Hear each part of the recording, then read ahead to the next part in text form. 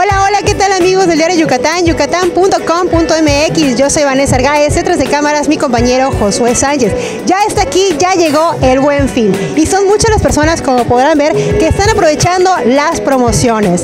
Pero pues también vamos a ver cómo está yendo en la parte de ventas. Acompáñenme a verlo.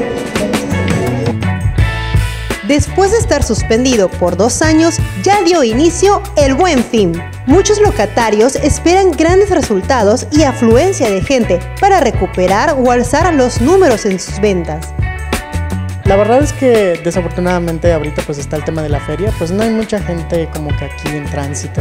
Entonces sí se nota en comparación de años anteriores pues el flujo de gente es mucho menor esta vez. Pues más o menos, sí hay venta. Igual se acerca lo de diciembre, esperemos tener muy buena venta. Ah, por el momento está un poco tranquilo y esperemos que esta vez se llene más de lo que teníamos esperado y que haya más clientes. Pues por el momento sí está viendo gente, sí está fluyendo la gente. Sí.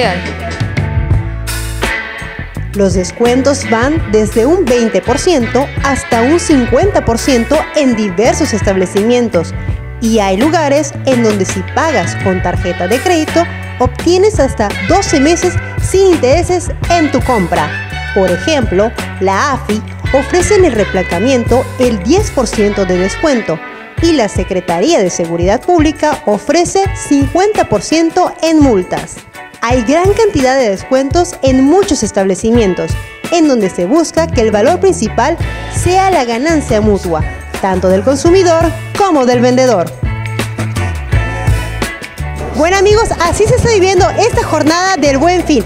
Como ya escucharon, se espera más gente todavía. Ustedes sabrán si aprovechan o no aprovechan las promociones que tienen los diversos puestos y lugares. Eso es todo por mi parte, una servidora Vanessa Argáez, detrás de cámaras mi compañero José Sánchez. Hasta la próxima, adiós.